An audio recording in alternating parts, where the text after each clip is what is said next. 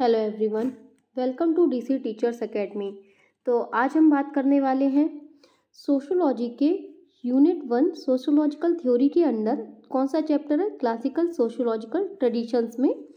जो सबसे पहले थिंकर है हमारी, क्लासिकल थिंकर में इमाइल रखा है इनके बारे में आज बात करेंगे और इन्होंने कौन कौन सी थ्योरीज दी हैं, उनके बारे में बात करेंगे और इनका सोशोलॉजी में क्या पर्सपेक्टिव रहा है, इसके बारे में बात करते हैं। ठीक है? तो वीडियो को आप पूरा देखिएगा, शुरू से एंड तक। अगर वीडियो अच्छा लगता है तो आप लाइक कर सकते हैं और चैनल को सब्सक्राइब भी कर सकते हैं। तो आगे बढ़ते हैं, देखते हैं कि इमाइल डरखाइम के बारे में क्या दिया गया है इस टॉपिक में। तो इमाइल डरखाइम जो है, एक फ्रेंच सोशोलॉजिस्ट हैं। जैसे कि आप देख सकते हैं, लिखा भी है, इसमें फ्रेंच सोशोलॉजिस्ट है और इनका जो जन्म हुआ था, पंद्रह अप्रैल अठारह सौ अट्ठावन में इनका जन्म हुआ था और उन्नीस सौ सतानवे को इनकी मृत्यु हो गई थी, ठीक है? और इन्होंने एक अपनी कम उम्र में भी काफ़ी ज़्यादा योगदान दिया है सोशोलॉजी में और जिनके योगदान को हम पढ़ेंगे यहाँ पर तो इन्हें ट्रू फादर ऑफ़ सोशोलॉजी भी कहा जाता है, किनको? इमाइल डरखाइम को और एकेडमिक फादर ऑफ़ सोशोलॉजी के नाम से भी जाना जाता है। और इमाइल डरखाइम जो है, एक मैक्रो थिंकर है। अब मैक्रो थिंकर क्या होता है? मतलब एक ऐसा थिंकर जो सोसाइटी सोसाइटी को एज अ होल देखता है, ठीक है? उसमें इंडिविजुअल्स क्या है, कौन है, इसके बारे में बात नहीं करता है। ठीक है, पूरी सोसाइटी कैसे फ़ंक्शन करती है, किस तरह से एक दूसरे से जुड़ी हुई है, और किस तरह से एक दूसरे पर इंटरडिपेंडेंट है इंटरकनेक्टेड है, इस पर बात करते हैं।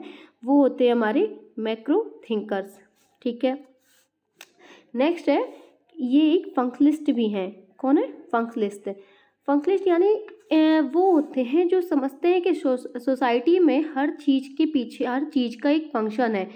कोई भी चीज़ जो इस दुनिया में है, वो उस चीज़ के पीछे एक अपना एक फ़ंक्शन है, उसका भी एक अपना प्रकार है, जिससे वो सोसाइटी में अपना एक योगदान भी दे रहा है, ठीक है? तो माइल रखाइम जो है हमारे फंक्शलिस्ट भी कहे जाते हैं और मैक्रो थिंकर भी हैं और सिंथेटिक स्कूल से बिलोंग करते हैं। ये जितने भी पॉइंट दिए गए हैं इस वीडियो में, बहुत ही इंपॉर्टेंट है। आप ये मत सोचिए कि इस वीडियो में कुछ भी हमें स्किप करना है। स्किप मत कीजिए क्योंकि मैंने ऑलरेडी बहुत कम ही कंटेंट इसमें लिखा हुआ है, जिससे कि आप लोगों को पढ़ने में भी कोई दिक्कत ना हो और याद करने में भी प्रॉब्लम ना हो। इसलिए बहुत ही क्वालिटी बेस्ड कंटेंट दिया गया है इसमें। तो आप एक भी चीज़ को मिस मत करना। तो ये एमाइल डरखैम जो है, सिंथेटिक स्कूल से बिलोंग करते हैं और इन्होंने क्रिए बिकॉज़ इनको जो मैक्रो थिंकर भी कहा जाता है और अकेडमिक फादर ऑफ़ सोशोलॉजी भी कहा जाता है, क्योंकि created the first academic discipline of sociology because he created the first academic discipline of sociology ठीक है? नेक्स्ट क्या है? देखते हैं हम। नेक्स्ट स्लाइड में। देखिए दो टाइप के थिंकर्स होते हैं। अभी मैंने बात की ना, एक होते हैं मैक्रो थिंकर एक होते हैं माइक्रो थिंकर ठीक है? मैक्रो थिंकर वो होते हैं जो सोसाइटी को एज अ होल समझने की कोशिश करते हैं और माइक्रो थिंकर्स वो होते हैं जो सोसाइटी में हर एक इंडिविजुअल्स की इम्पोर्टेंट उसकी अपनी एक समझ, उसका अपना एक ओपिनियन उन सभी चीज़ों को देखता है। वो होता है हमारा माइक्रो थिंकर यानी कि जो हर एक इंडिविजुअल के बारे में सोच रहा है। और micro think macro thinker macro याद रखिए, मैक्रो बोला है मैंने, ठीक है? मैक्रो थिंकर्स वो होते हैं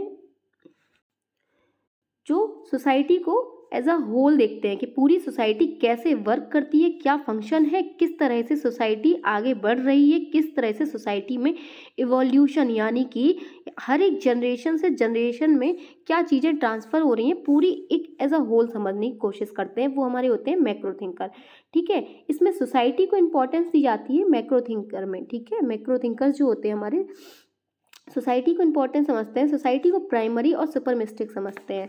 इंडिविजुअल जो इंडिविजुअल थिंकर्स होते हैं, यानी माइक्रो थिंकर्स तो वो सोसाइटी को सेकेंडरी समझते हैं और मैक्रो जो होते हैं, इंडिविजुअल को सेकेंडरी समझते हैं, प्राइमरी समझते हैं सोसाइटी को। ठीक है? इतना समझ में आ गया होगा आपको? जैसे कि आपको बताता, बताती हूँ मैं यहाँ पर।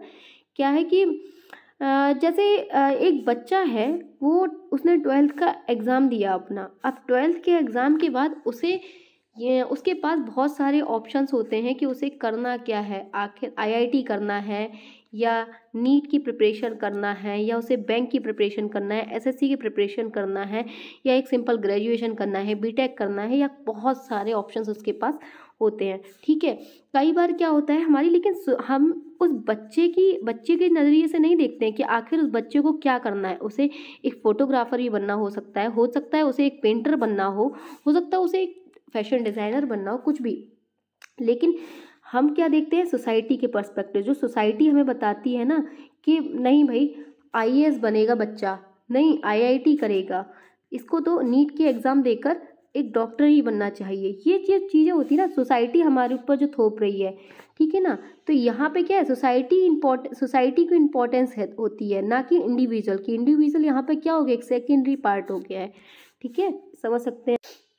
देखिए, हमें डरखाइम के कौन कौन से थ्योरीज़ को पढ़ना होगा, ये यहाँ पर देखना पड़ेगा। हमें सबसे पहले पढ़ना होगा डिवीज़न ऑफ़ लेबर के बारे में, जो सोशल फैक्ट की थ्योरी दी है डरखाइम ने, उसके बारे में। थ्योरी ऑफ़ सोसाइटी बहुत इंपॉर्टेंट थ्योरी है इनकी। थ्योरी ऑफ़ नाइन्टी सेवन में आई थिंक आई थी ये, ठीक है पब्लिश हुई थी ये थ्योरी उनकी। और थ्योरी ऑफ़ रिलीजन इन चीज़ों के बारे में आगे पढ़ना होगा। और इस वीडियो में हम बात करेंगे डिवीज़न ऑफ़ लेबर के बारे में। डिवीज़न ऑफ़ लेबर समझ सकते हैं, आगे देखते हैं। तो डिवीज़न ऑफ़ लेबर डिवीज़न तो डिवीज़न ऑफ़ लेबर को इसके नाम से ही समझ सकते हैं आप लोग। यानी कि लेबर का बंटवारा, यानी काम का बंटवारा, ठीक है? जैसे कि आप अपने एक घर से ही समझ सकते हैं। आपके घर में आपकी मदर होंगी, आपके फादर होंगे, आपके भाई बहन सिबलिंग्स होंगे तो उनके बीच में भी काम बटा हुआ होगा। जैसे कि एक टिपिकल फैमिली का हम सोच सकते हैं, मान लीजिए आपकी मदर है, वो खाना बनाएँगी, आपके फादर हैं, आपके फादर होंगे, वो बाहर जाकर काम करेंगे और आपके जो सिबलिंग्स होंगे, वो हो सकता है पढ़ाई करें और घर के छोटे मोटे कामों में हाथ भी बटाएँ। ठीक है, एक टिपिकल फैमिली के बारे में हम इसको समझ सकते हैं। मतलब काम का बंटवारा हो जाता है। ठीक है तो सबसे पहले जो डिवीज़न ऑफ़ लेबर का कॉन्सेप्ट आता है, वो इमाइल डरखाइम की फ़ेमस बुक है division of labour in society जो कि बुक आई थी 1893 में। सबसे पहले मेजर बुक इनकी पब्लिश हुई थी जो कि, जिसकी थीम है relationship between individual and society और द कलेक्टिविटी ठीक है, आप थीम से ही समझ सकते हैं। एक ऐसा रिलेशनशिप जो इंडिविजुअल एक व्यक्ति और एक सोसाइटी के बीच में हो कलेक्टिविटी के लिए, यानी कि जोड़ने के लिए, ठीक है? इंटीग्रेशन के लिए, जोड़ने के लिए। नेक्स्ट देखते हैं कि क्या दिया गया है पॉइंट तो फ़र्स्ट टाइम जो ड्यूएल का कॉन्सेप्ट आया था। एडम स्मिथ ने इकोनॉमी में बात की थी। इकोनॉमी में एक कॉन्सेप्ट आया था ड्यूएल का, जिसमें लेबर के बंटवारे के लिए बात की गई थी। लेकिन डरखाइम एक ऐसे सोशलॉजिस्ट रहे हैं जिन्होंने और अदर सब्जेक्ट्स से कुछ ना कुछ लेकर सोशलॉजी में डाला है, ठीक है? तो इसीलिए डरखाइम ने जो डी ओ एल का कॉन्सेप्ट यानी कि डी ओ एल ये हम शॉर्ट में बोल रहे हैं इसको, ठीक है? याद रखिएगा डिवीज़न ऑफ़ लेबर को शॉर्ट में डी ओ एल बोल सकते हैं यहाँ पर। तो डरखाइम जो है डी ओ एल का कॉन्सेप्ट लेकर आए थे सोशलॉजी में। New international division of labour जो एक बुक आई है, वो एक फ्रोवेल की है। कंफ्यूज नहीं होना है। फ़र्स्ट टाइम जो डी का कॉन्सेप्ट यानी डिवीज़न ऑफ़ लेबर का कॉन्सेप्ट दिया था, वो दिया था एडम स्मिथ ने। लेकिन सोशलॉजी में दिया है डरखाइम ने। सोशलॉजी में जो डरखाइम ने कॉन्सेप्ट दिया है, उसको बोलते हैं division of labour in society. Division of, division of labour in society, ठीक है? और new international division of labour जो बुक आई है, वो फ्रवेल की बुक है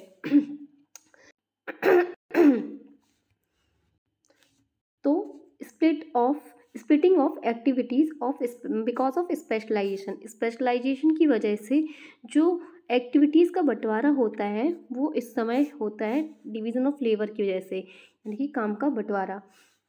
नेक्स्ट देख सकते हैं क्या लिखा है? Division social division of labour के बारे में बात करते हैं, रखा है division of labour as a fact आगे पढ़ेंगे हम कि डिवीज़न ऑफ़ लेबर को एक फैक्ट के रूप में इन्होंने कैसे बताया है।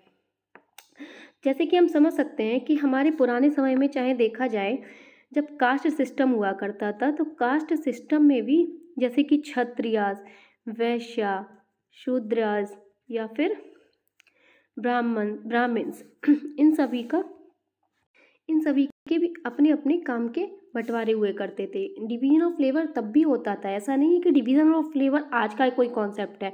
अगर देखा जाए एंशियंट टाइम में तब भी कास्ट सिस्टम हुआ करता था, जो ब्राह्मण, क्षत्रिय, वैश्य शूरदास में काम का बंटवारा करते थे। और हमारी फैमिली में भी अगर हम अभी के टाइम में देखें, या हम कहीं भी, किसी भी एक इंडस्ट्री में देखें, अगर एक कोई कार बनती है, तब भी उसकी, उसका कुछ ना कुछ जो पार्ट होगा, वो कोई और लेबर बनाएगा। उसका मैन्युफैक्चरिंग भी बहुत सारे स्तर पर होती है। यानी कि डिवीज़न ऑफ़ लेबर वहाँ भी देखने को मिलता है, ठीक है? सिंपल शब्दों में, काम का बंटवारा। नेक्स्ट क्या है? कि we can see dual in our family जैसे कि वही वाली बात हो गई, जो मैंने आपको भी एग्जांपल दिया था कि आपकी मदर का रोल कोई और होगा, बच्चे कोई, बच्चे का रोल कोई और कर रहा होगा तो वो फैमिली में भी हमें डिवीज़न ऑफ़ लेबर देख, देखने को मिलता है। आपकी मदर जो है खाना बना रही होंगी, आपके लिए आपके फादर जो हैं, आपके लिए काम करके कुछ कमा कर ला रहे होंगे, बच्चे या सिबलिंग्स जो होंगे वहाँ पढ़ाई कर रहे होंगे, ठीक है? तो सबके अपने अपने काम बटे हुए होते हैं, फैमिली में भी। डरखाइम ने जो है डिवीज़न ऑफ़ लेबर को तीन तरीक़ों में बताया है। एक तो technical division of labour, second sexual division of labour, third है social division of labour. Technical division of labour जैसे समझ सकते हैं हम लोग लाइक टेक्निकली जो नॉर्मली डिवीज़न ऑफ़ लेबर हो रखा है लोग अपने अपने काम कर रहे हैं, एग्रेरी मतलब एग्रेरियन कल्चर यानी कि खेती बाड़ी कोई और कर रहा है, इंडस्ट्री में मैन्युफैक्चरिंग कोई और कर रहा है, उसको कंजम्पशन यानी कि खरीद कोई और रहा है तो ये एक टेक्निकल डिवीज़न ऑफ़ लेबर हो गया नॉर्मली, ठीक है? सेक्सुअल डिवीज़न ऑफ़ लेबर जैसे कि फीमेल कुछ और कर रही हैं, मेल वर्कर कुछ और अपना काम कर रहे हैं, he classified a society by the nature of social solidarity तो सोशल सॉलिडारिटी एक नया वर्ड आया है हमारे सामने, समझ सकते हैं इसको पहले तो। क्या वर्ड है ये? सॉलिडारिटी मतलब कि एकजुटता, यानी कि एक एक रूपता या फिर एक साथ कैसे रह रही है सोसाइटी हमारी, ठीक है? तो इसको जानने के लिए सबसे पहले डरखाइम में जो है दो तरह की बात बोली। एक बोली उन्होंने, हम अभी प्रेजेंट टाइम को देखकर ये नहीं बता सकते हैं कि आखिर सोसाइटी में एकता कैसे है, लोग एक दूसरे से आखिर जुड़े हुए कैसे हैं। ये प्रेजेंट टाइम में हम देखकर नहीं बता सकते हैं। उसके लिए हमें पहले एंशियन टाइम में जाना होगा और देखना पड़ेगा लोग कैसे रहते थे और तब सोशल सॉलिडरिटी यानी कि सोसाइटी एक साथ कैसे बंधी हुई थी। तो इसके, इसको देखने के लिए डरखाइम ने दो टाइप की सॉलिडारिटी के बारे में बात की है। एक तो बात की है मैकेनिकल सॉलिडारिटी और दूसरी बात की है ऑर्गेनिक सॉलिडारिटी तो evolution of society from primitive to modern यानी कि सोसाइटी जो सोसाइटी का एवोल्यूशन हुआ है प्रिमिटिव यानी पुराने समय से मॉडर्न सोसाइटी तक कैसे हुआ है और उन्होंने सॉलिडारिटी के बारे में इसके इसके बारे में क्या बताया ये देखते हैं। प्रिमिटिव सोसाइटी में क्या था? Held together by mechanical solidity based likeness norms values मतलब कि जो पुराने समय में था, लोगों के बीच बहुत ज़्यादा सिमिलरिटीज़ हुआ करती थी, लोग एक जैसे थे, इसलिए उनके बीच इतने ज़्यादा काम का बंटवारा नहीं था जितना आज के समय में है डिवीज़न ऑफ़ लेबर ठीक है ना? क्योंकि लोगों के बीच बहुत ज़्यादा लाइकनेस थी उनकी नॉर्म्स वैल्यूज़ बहुत ज़्यादा एक जैसी थी इस वजह से। अब कास्ट जैसे कि caste system traditional system sati system कुर्बानी पर्सनल रिलेशनशिप्स होते हैं जैसे हम समझ सकते हैं। जैसे लोग सोसाइटी के लिए सोसाइटी में एक जैसे ही हो रहा है। मान लीजिए कोई एक आ, कोई एक जैसे कि हमारी सती सिस्टम सती प्रथा हुआ करती थी उस समय में, या जो कुर्बानियाँ दी जाती थीं, ये इस तरह की जो चीज़ें होती थी पुराने समय में, वो सोसाइटी से ही होती थी क्योंकि सब कुछ एक जैसे ही था इस वजह से। लोग अगर खुद के लिए उगा रहे हैं कोई चीज़ तो खुद ही कंजम्पशन कर रहे हैं उसका, ठीक है ना? उसमें बहुत ज़्यादा ऐसा नहीं था कि जैसे कि आज के समय में है कि आज खेती कोई और कर रहा है, उसका एक बड़ा बायर जो होगा वो कोई और होगा, एक छोटा बायर वो कोई और होगा, फिर वहाँ से कंजम्पशन हम कर रहे हैं, वो कोई और है, ठीक है? इस तरह का बंटवारा नहीं बना हुआ था पहले के समय में। लोग सिंपल छोटी सी सोसाइटी में रह रहे हैं छोटी छोटी लो पॉपुलेशन है लोग वहीं अपना कंजम्पशन कर रहे हैं, वहीं अपना उगा रहे हैं, खेती को कर रहे हैं, वहीं अपना खा पी रहे हैं। खुद ही से ही अपने, मान लीजिए घर में कोई भी प्रॉब्लम घर घर में कोई भी चीज़ बनानी हुई, वो खुद से ही बना लिया, घर का कुछ भी निर्माण करना हुआ, वो खुद से ही बनवा लिया। आज ऐसा तो है नहीं कि जैसे कि अब होता है कि हमने एक बहुत बड़े बिल्डर को बोल दिया, फिर उसके बाद उसके नीचे कुछ लेबर्स वर्क कर रहे हैं, फिर उसमें लेबर्स के अंडर में भी कुछ छोटे लेबर्स काम कर रहे हैं। इस तरह का तो बंटवारा है नहीं तो इसीलिए उस समय सोसाइटी इतनी ज़्यादा बटी हुई नहीं थी, जितनी ज़्यादा डिफरेंसेस आज आ चुकी हैं मॉडर्न सोसाइटी में। इसलिए हम मॉडर्न सोसाइटी में देख सकते हैं मॉडर्न मॉडर्न सोसाइटी को इसलिए ऑर्गेनिक सोसाइटी बोलते हैं और जो प्रिमिटिव सोसाइटी यानी कि पहले की सोसाइटी है, उसको हम मैकेनिकल सॉलिडारिटी में देख सकते हैं। सोसाइटी नहीं होगा ऑर्गेनिक सॉलिडारिटी होगा। यहाँ कुछ मिस्टेक है। यहाँ पर ऑर्गेनिक सॉलिडारिटी होना चाहिए, ठीक है? टाइपिंग मिस्टेक है ये। मैकेनिकल सॉलिडारिटी जैसे कि आप नाम से समझ सकते हैं मतलब मैकेनिकल, जैसे कि एक मशीन है, मशीन अपना काम करते जा रही है, करते जा रही है, करते जा रही है, उसमें उसके लिए अलग से कोई एफर्ट डालने की ज़रूरत नहीं है, वो अपने आप ही चीज़ें होती जा रही हैं, ठीक है? तो और ऑर्गेनिक सोसाइटी में जो कि जो कि हमें एक एडवांस सोसाइटी में देखने को मिलती है। जो पहले की सोसाइटी होती थी प्रिमिटिव सोसाइटी में कुछ लाइकनेस देखने को मिलती है इंडिविजुअल कॉन्सियसनेस मतलब कि लोग अपने तक ही, अपने बारे में ही सोच रहे होते हैं, ठीक है? मतलब कि जैसे कि अपने बारे में सोच रहे होते हैं कि जैसे अपना खुद का ही कंजम्पशन हो रहा है, अपना खुद का ही प्रोडक्शन हो रहा है, इस तरह से। एक स्मॉल पॉपुलेशन में होता है ऐसा, ठीक है? ट्रेडिशनल सोसाइटी हुआ करती थी होमोजेनस यानी कि लोग एक जैसे हैं सिमिलर वैल्यू सिमिलर बिलीफ जिनके हैं ठीक है? लोगों का सोचना लोगों का उसके बारे में कुछ भी विचार हो वो सब सेम है ठीक है?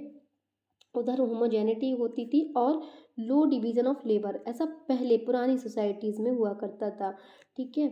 यानी कि डिवीज़न ऑफ़ लेबर का कम बंटवारा होता था और रिप्रेसिव लॉ रिप्रेसिव लॉ जैसे कि कुछ आ, किसी ने कोई अगर मान लीजिए क्राइम किया तो उसके लिए उसको सजा देकर सोसाइटी में फिर से मिला लिया जाए, यानी कि सोशल सॉलिडारिटी, सोसाइटी की सॉलिडारिटी को ख़त्म ना कर सके, इसलिए उसको फिर से मिलाने की कोशिश की जाएगी रिप्रेसिव लॉ और एंशियन सोसाइटी में क्या होता है? ऑर्गेनिक सॉलिडारिटी होती है डिफरेंसेस होते हैं, बहुत सारे, आप देख सकते हैं, बहुत सारे अलग अलग तरह के लोग हैं अलग अलग तरह की इंडस्ट्रीज़ हैं अलग अलग तरह के उनके विचार हैं अलग अलग तरह के उनके काम हैं, है ना? और इंटरडिपेंडेंस लोगों की बहुत ज़्यादा इंटरडिपेंडेंसी भी हो चुकी है। जैसे कि हमारे घर में अगर बिजली आ रही है तो हम उसके लिए पूरा टोटली इंटरडिपेंडेंस है किसी और पर। हमारे घर में अगर खाना बन रहा है तो हम उसके लिए भी टोटली डिपेंड हैं, क्योंकि उसके लिए खान, सब्ज़ी कोई और उगा रहा है, फिर सब्ज़ी कोई और बेच रहा है, फिर खाना कोई और बना रहा है तो इस तरह से हम टोटली इंटरडिपेंडेंस हैं इस समय ancient society sorry modern societies में। यहाँ पे मॉडर्न सोसाइटी होगा, ठीक है मॉडर्न सोसाइटी में, ये ऐसा मॉडर्न सोसाइटी में मॉडर्न सोसाइटी में ओके और हेट्रोजेनिटी होती है, लोग एक जैसे नहीं होते हैं हाई डिवीज़न ऑफ़ लेबर काम का बहुत ज़्यादा बंटवारा बटा हुआ है क्योंकि इसमें आप देख सकते हैं अलग अलग वैरायटी की चीज़ें आ चुकी हैं तो काम के, उस हर एक काम के लिए अलग अलग लोग भी हैं। इस समय रेस्टिट्यूटिव लॉज भी हैं कुछ, जिनके लिए कुछ लॉ बने हुए हैं, जिसमें पनिशमेंट भी है लॉज हैं रेगुलेशंस हैं, ठीक है। और अब देखते हैं, हमने आगे पढ़ा था कि डिवीज़न ऑफ़ लेबर को सोशल एक्ट आखिर कैसे कहा है, रखा है हमने।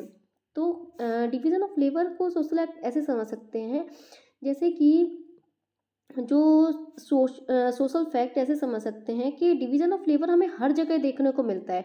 कोई ऐसा तो है नहीं कि हमें सिर्फ़ इसी सोसाइटी मिल रहा है। ये यूनिवर्सल है, हमें हर जगह देखने को मिलेगा, चाहे वो फैमिली हो मैरिज हो रिलीजन हो हर जगह एवरीवेयर ये एग्जिस्ट करता है। It is a sui generis Durkheim ने डिवीज़न ऑफ़ लेबर को स्वीट जनरेस के रूप में भी बोला है, क्योंकि इवॉल्व विद सोसाइटी यानी ये अपने खुद से ही होता है। हमें इसके लिए कुछ अलग से एफर्ट डालने की ज़रूरत नहीं है कि डिवीज़न ऑफ़ लेबर को अलग से कुछ करने की ज़रूरत है। ये खुद से ही इवॉल्व होता है। Integrate people because of interdependence लोगों को एक साथ बनाए रख, बांधे रखते हैं, क्योंकि लोगों की निर्भरता भी एक दूसरे पर है। Abnormal form of D O L division of labour की एबनॉर्मल फॉर्म के बारे में बात की है। अब देख सकते हैं यहाँ पर हमने बात की थी कि टरखाइम ने डिवीज़न ऑफ़ लेबर को सोशल फैक्ट कैसे कहा था। और यहाँ पर दिया गया है कि एब नॉर्मल फॉर्म एब नॉर्मल मतलब कि जो चीज़ नॉर्मल ना हो। ठीक है? डिवीज़न ऑफ़ लेबर की जो फॉर्म जो है नॉर्मल नहीं है, उसके बारे में बात की है, जैसे कैसे कह सकते हैं हम लोग। पहला पॉइंट है एनोमिक एनोमिक एक इंपॉर्टेंट वर्ड आ जाता है डरखाइम की थ्योरी में। तो एनोमिक आप ऐसे समझ सकते हैं कि जैसे कि एक कोचिंग इंस्टीट्यूट है या कोई कॉलेज स्कूल है तो वहाँ पर एक टीचर है, उसका वर्क है पढ़ाना, ठीक है? लेकिन एनोमिक यानी कि जो नॉर्म फॉलो नहीं कर रहा है वो वो क्या कर रहा है कि वो पढ़ा, पढ़ाने के अलावा हो सकता है वो रील्स देख रहा है, हो सकता है वो वहाँ से बैठ कर बातें कर रहा हो। तो वो अपना काम नहीं कर रहा है। तो उस समय क्या हो रहा है कि वो टीचर एनोमिक एनोमी हो रहा है, यानी कि नॉर्म्स को फॉलो नहीं कर रहा है। तो इसलिए ये एक एबनॉर्मल फॉर्म हो जाती है डिवीज़न ऑफ़ लेबर की। Inadequate organisation overburdening समन देखिए, कोई भी इंस्टीट्यूट को चलाने के लिए वहाँ बहुत सारे वर्कर्स की ज़रूरत पड़ेगी। हमें एक क्लर्क की भी ज़रूरत पड़ेगी। हो सकता है हमें वहाँ पर बहुत सारे टीचर्स की भी ज़रूरत पड़े। वहाँ पर एक फ़ीस कलेक्ट करने वाले जो रेसिपियंट होते हैं, उनकी ज़रूरत पड़े। बहुत सारे लोगों की ज़रूरत पड़ेगी। ठीक है, लेकिन वहाँ पर बहुत सारे टीचर्स की ज़रूरत है। पर क्या हुआ कि किसी ने कह दिया कि नहीं, ठीक है, हम एक ही सब्जेक्ट से एक ही टीचर को तीन सब्जेक्ट दे देंगे और वही एक पढ़ा लेगा।